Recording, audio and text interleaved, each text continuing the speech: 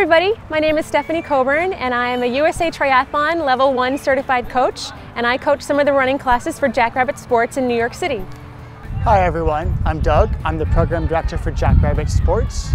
Uh, we're a running and triathlon specialty retailer based here in New York City. We have four locations and we are, in addition to uh, providing great customer service, um, great products, we also have a full range of training programs. Those training programs are triathlon and running specific, swimming, cycling, and running. And Howcast has brought us in today to make a whole series of videos for you to hopefully enjoy and get educated and get excited about running. I have a long relationship with running. Uh, I've been running for about 17 years now. I've been running since I was 12 years old, fell in love with it. I've done cross country, indoor, outdoor track, and now I'm a competitive triathlete. I've raced at the national and international level and I'll be racing my second Ironman this summer.